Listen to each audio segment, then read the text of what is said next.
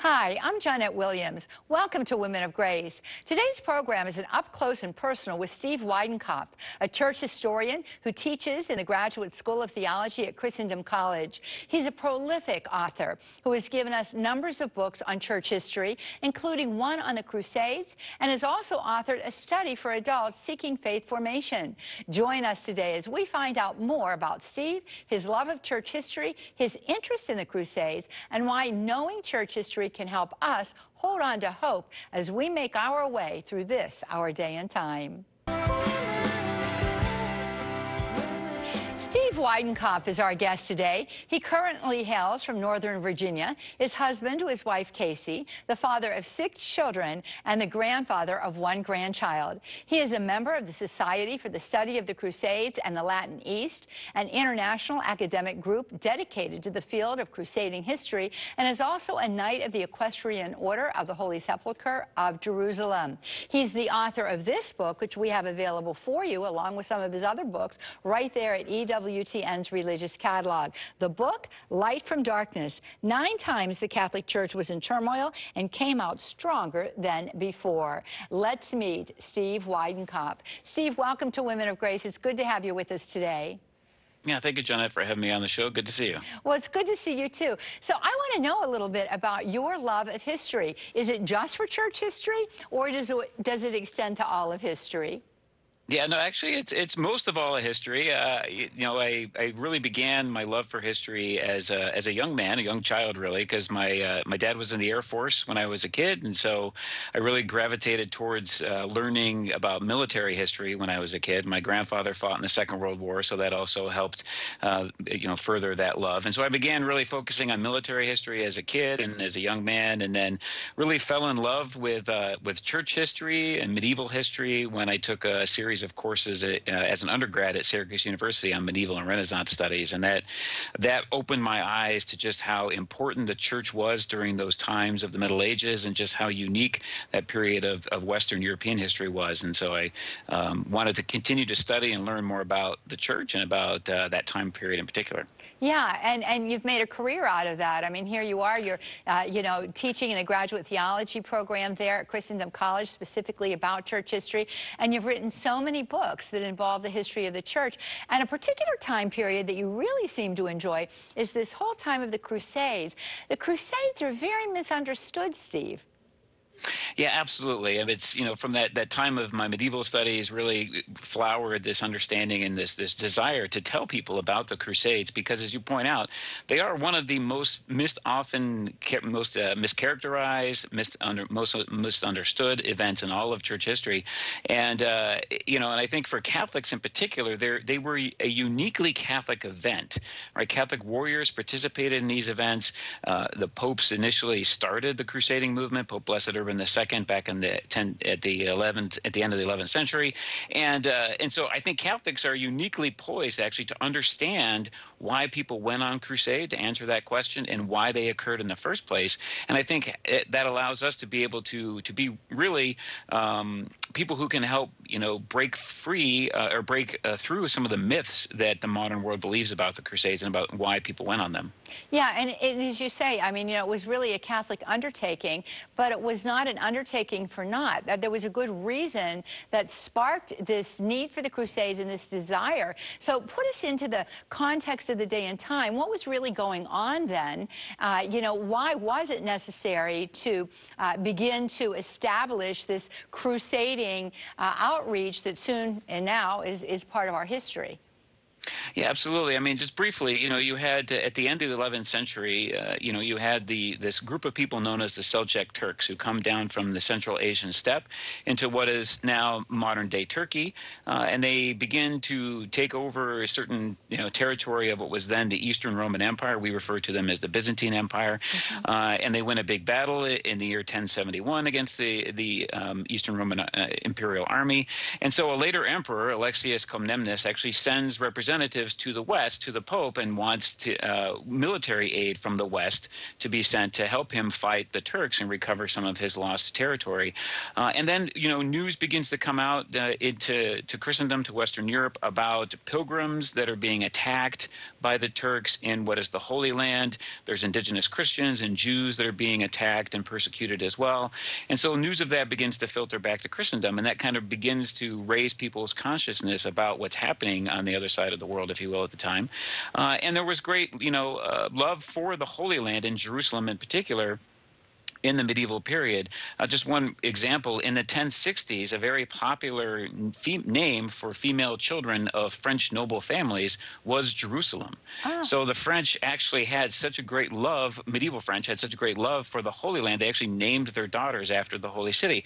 So there was a lot of interest in the city, a lot of uh, you know pilgrimage and things like that. So when news came out of all this attack and violence and persecution, it really raised people's attention and, and the desire to want to do something. And so Pope Blessed Urban II II at the end of the 11th century begins this crusading movement and once uh, calls forth warriors to go to the Holy Land to liberate that territory from from the Seljuk Turks and to restore it to the Christian patrimony.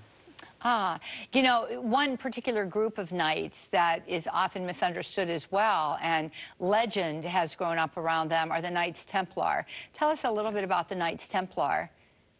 Yeah, so the Knights Templar uh, were one of a multitude of different groups known as military religious orders that grew up as a result of the success, actually, of the First Crusade. So, plus, you know, uh, the Pope, Pope Urban II marshals these troops to go to the Holy Land. They actually are successful in the summer of 1099 of liberating Jerusalem. Many of the warriors who are still alive go back home because it, they considered it to be a pilgrimage, what they were participating in. Some stay, um, but not enough stay to protect the land and territory that had been liberated.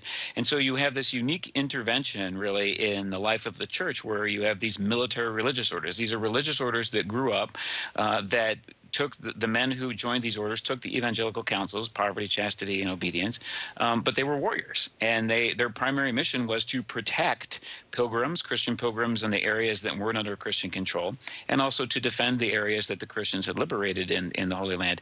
Um, and the templars were one of them. They got their name from their barracks that were on the temple enclosure in the in the uh, city of jerusalem and they became known as the templars over time. And but yeah a lot of myths associated with them because they became became very powerful, very wealthy. They established one of the first international banking um, uh, Pro, you know, processes, if you will, where you could uh, go to a Templar house in, in Europe and Christendom and, and deposit some money uh, and say you were traveling to the Holy Land. You wouldn't want to take a whole lot of money with you because you would be at risk for being robbed. So you deposit it in the Templar house there. They'd give you a deposit slip. You know, Steve on his way to the Holy Land deposited X numbers of pounds or marks of cologne.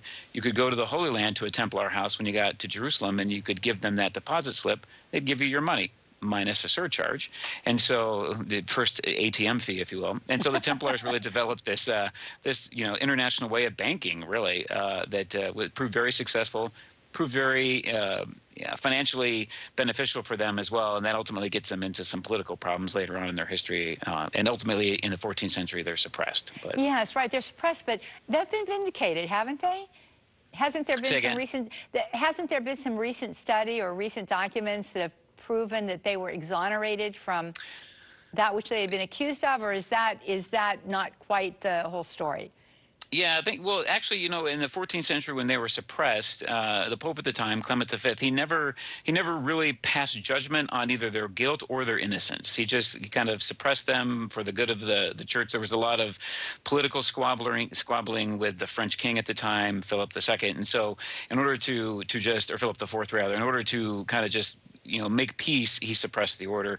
Um, but yeah, definitely many of the things that they were charged with, especially by the French royal officials and, and the French King Philip IV, uh, more than likely they were not that was not true. Um, but at the time, it was it was kind of hard to dis discern the truth, and so he just suppressed the order. But yeah. Well, one of our great saints uh, was a crusader, wanted to be. I don't know that he ever saw battle though, or what happened there. But I'm t I'm talking of Saint Francis of Assisi. Yeah, St. Francis, you know, technically was not uh, uh technically not a crusader because he never took the crusader vow, but he did go to the crusader camp in Egypt during what we call the Fifth Crusade, uh, and it was while there uh, at that camp that he crosses the enemy lines, goes into the, the Muslim territory, is, is taken captive, and, and asks to be brought before the Sultan along with one of his his um, companions, and he preached the gospel. I mean, the stories are that he he he stayed there for several days preaching the gospel to the Sultan Al Kamil in the hopes that he would convert uh, and that that would kind of bring an end to the crusading movement in a peaceful way because uh, you know the Muslims would would convert to the faith. Um, Al Kamil was very generous to St. Francis, listened to him, sent him back to the Crusader camp after a few days, didn't actually convert, but did, as the story goes, apparently ask St. Francis to pray for him that he would be uh, enlightened as to what was was really true. Um, but he never ultimately converted. So St. Francis's mission there wasn't overly successful, um, but he definitely understood why the crusade was happening and thought that he could contribute to it in a spiritual way by trying to bring about the conversion of the Sultan. Yeah, what a beautiful thing. And I think that throughout history, so many great saints found themselves in similar situations. Uh, you know, we talk about St. Catherine of Siena finding herself there pleading uh, with the Pope to come back to Rome. So many made these appeals for the benefit and the sake of Holy Mother Church and to find a peaceable solution to some of the, uh, you know, difficulties, political difficulties and struggles that were going on in their day and time. Yeah, absolutely, and it's it's uh, you know that that illustrates really, I think, for us this this belief or this notion that you know we're members of the body of Christ, we're members of the church, and so although we need to be concerned about our own spiritual life and our family and our community and our parish, we also have to be you know also concerned with the larger church and do what we can, whatever role God plays uh, or calls us to play, to do our part to help further you know uh, His His church and to further the gospel throughout the world. Yeah, you know, I, I like to think about the fact that uh, Pope Paul VI said that the church exists to evangelize, right? And uh, we are the church, right? We comprise the church. So that means that we exist to evangelize, and we're given the capacity to do that uh, through our baptism, and, all of that is, is, strengthened within us through our confirmation. Uh, so we all have to be on a certain mission. You know, St. Francis of Assisi was on a mission in his day and time that was pertinent to that day and time, but we have to be on mission too, and it's only through that Catholic witness, uh, you know, blooming, if you will, in the midst of, of, of, of the uh, pool of ideas and, and uh, ideologies that uh, are current in our culture that we're going to find real change happening. Uh, so we, we, we, can look at all of this historical data, but when we put it up alongside of our own lives, the question is, what am I to do with this? How am I to imitate this? Yeah, exactly. And I think that that's why it's important for us as Catholics, right, to know our history and and to be rooted in it because it we can learn from those who've come before us, right? Mm-hmm. And and not, not that we should live in the past or that we need to somehow think that we need to reconstitute past centuries in our own day and age, right? Because that's that's not the the, the church is is a is a living organization, right? Our faith is a living faith. Our God is a living God, right? He's a God of the living, if you will, mm-hmm. um, is a better way to put it. And and you know we have to utilize the skills and talents that he's given to us in our own day and age, as you point out, um, cognizant of what has come before us and learning, you know, the lessons from those who have come before us, the, the positive and the negative lessons, in order to evangelize our world where it is today. Uh, that's that's the key. Yeah. Absolutely. Well, we're going to go to a break, friends, and when we come back, more with our guest today, Steve Weidenkopf. He's the author of many books, as I've been telling you. Want you to get out to EWTN's religious catalog and take a look at the books that he has written that are there for you and available for you there. Light from Darkness uh, is his most recent book. We've been chatting a little bit about it, but not too much. We're going to get into a little bit more when he comes back. Nine times the Catholic Church was in turmoil and came out stronger than before. More to come after the break. Stay with us.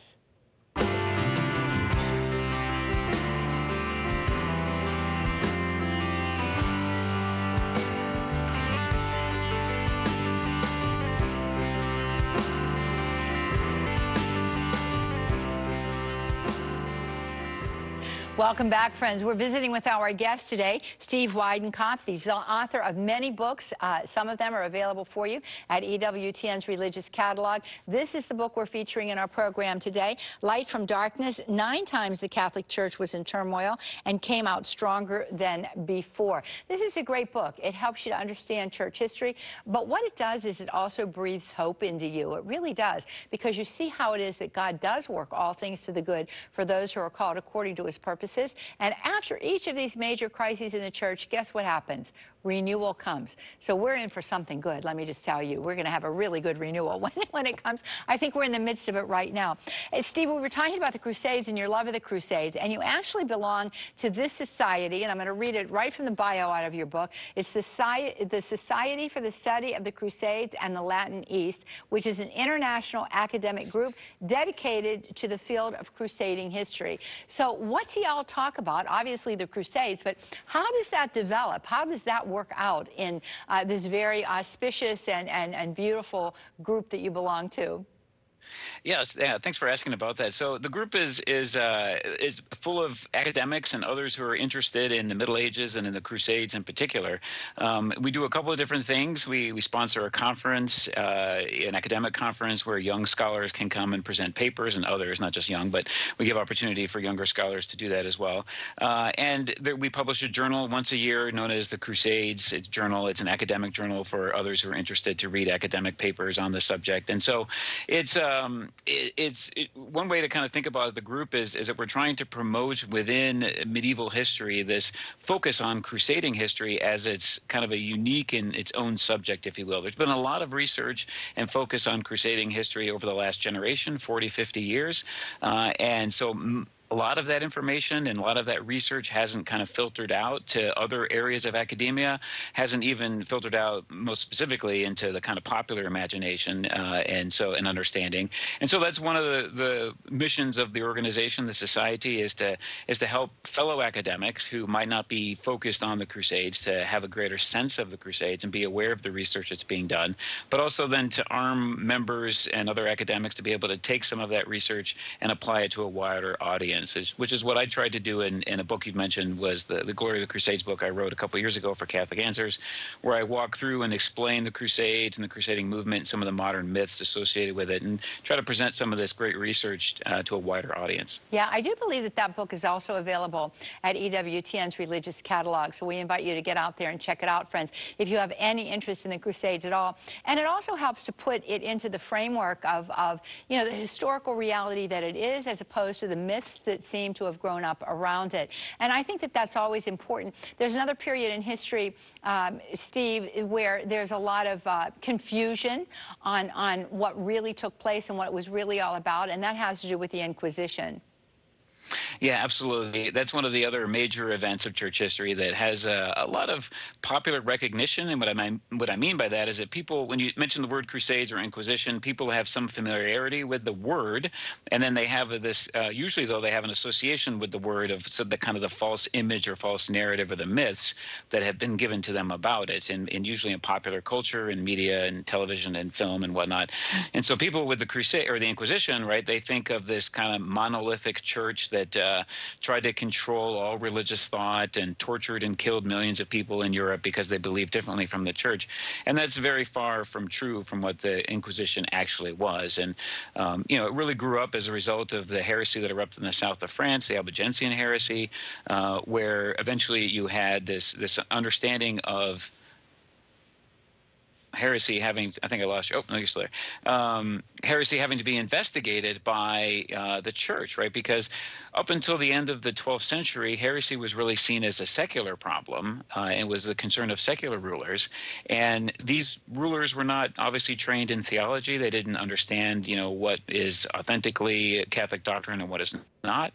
And so the church kind of stepped in there uh, as an act of charity on those who were accused of heresy to really investigate it properly and to ensure that if someone did believe false teachings and was um, influenced by heretical thought, that they could then be taught the truth and given opportunities to repent and recant and rejoin the faith, if you will. Yeah. In your book, uh, Light from Darkness, Nine Times the Catholic Church was in turmoil and came out stronger than before, uh, you dedicate an entire section to the Albigensian heresy, and you talk about the Inquisition in that chapter. So uh, for more information on that, you can get the uh, copy of uh, Steve's book and read that and, and go into a little bit more depth there than we're able to present to you here in the television program. But this leads me to the notion that, you know, all of us are called by God to a particular day and time, and we are to be uh, an instrument of the Lord in that day and time, a conduit of His grace, always leading people to truth. And I think that throughout her history, this is what the church has been about. Has she done it perfectly? No. Do we do it perfectly? No. You make a statement in your book that I think is a really great one, and you say that the church is comprised of fallen people who are redeemed. Why don't you explain that to us a little bit because it applies to each one of us. My hands in the air. Absolutely, yeah. I, that's one of my favorite sayings. Really, is is that you know we're fallen yet redeemed creatures, right? Yes. So all of us, including those who come in the in the church's past that we study, and and as we pointed out, it's another reason to study the church's past, right? In our history, is it so that we can learn from those uh, fallen yet redeemed creatures that came before us, uh, what they did right, what they did wrong, how they acted, either you know positively or negatively. Um, and what I mean by that is just that, right? That that we we're not perfect, as you point out, or the people who came before us are not perfect. Even those who occupied the highest offices in the church, that that you know still sinners yet redeemed. And so uh, there are times when we choose virtue and choose you know to do good things in accordance with God's grace, and there are times when we don't. And that's the same as as people who have come before us. And when we know their story and know their history, uh, that gives us a greater appreciation for them, and then we can apply some of their the, the lessons we've learned from them to ourselves. And you know, because I think sometimes we, especially with saints, even it's applicable to saints, because I think sometimes we have this postcard image of saints, the you know the holy card image that they were always perfect and always great, and and you know they were just like us. They struggled with various things. They were they had temp- they were tempted. They there were their own little personal foibles or sins that they struggled with as well, uh, but they persevered uh, with God's grace, and and that's why you know they ultimately are recognized as saints, and uh, and so we can take solace and hope from from their lives as well. Yeah, you even mention in this book, um, is it Saint Hippolytus? Am I pronouncing it right? I've heard Hippolytus, yes. but Hippolytus, I think. Is, yeah, and here, here he was. He was an anti-pope who became a canonized saint. That's you know, wild. it is wild. Yeah, he's one of my favorite stories of all of church history. He's, yeah, you know, at the in the third century, and he was a man who, like you said, he didn't like the policy the popes at the time were following in terms of the lapsi. You know, those who had given in during persecution in the Roman Empire and now wanted to be readmitted when persecution was over. He was a rigorist, someone who said they shouldn't be allowed to come in. The popes followed a path of moderation, of allowing the lapsi to come back in after a period of penance, and he disagreed with that. So he had his his followers elect him pope, uh, and he became his own pope, and he was an anti-pope for um, close to 20 years through several different uh, valid pontificates. But at the end of his life, he and and pope at the time, uh, Pope Saint Pontian, they both were arrested, sent to the mines of Sardinia uh, during a persecution, and it was there on the in the mines that he reconciled himself with the true pope, with with Pontian, and was readmitted into communion by the pope. They both died uh, in the mines uh, in the persecution, and were both recognized as martyrs, and and their remains were brought back back to Rome, and, and they're recognized as saints. And they, they share the same feast days, the feast day of St. Pontian and Hippolytus in, in, August every year. So it's a beautiful story. It's a wonderful story. And, I, and there's a lesson in that for all of us. You know, sometimes we think, oh, my goodness, you know, God could never forgive me for this sin. God can forgive all sins, and he wants to do that. As a matter of fact, that is what he desires to do, is to pour out his love and mercy through the salvific action of his son, our Lord Jesus Christ, so that we can receive it and be healed and set free through it all. Uh, and, and all of church history proves that to us over and over again. And it must be sheer joy for you to be able to present this to students there at Christendom College. Oh, it is absolutely. Yeah, you know, it's it's. I'm very passionate about the subject, about church history and and the medieval period that we've talked about. And so, yeah, I love I love teaching and sharing it with my students and and seeing their eyes kind of open when we talk about various topics and and events and and uh, how their faith grows as a result of of knowing the story of our church. It's beautiful. Yeah, it really is, and it's lovely also because you have the opportunity not only to share about the history, but to encourage them to enter into the history of the moment that the church is presenting to each one of us. Yeah, exactly. Church history is, I mean, that's a great point. Church history, is the purpose of it is not necessarily just to know our past, right? It's not just this purely intellectual academic exercise.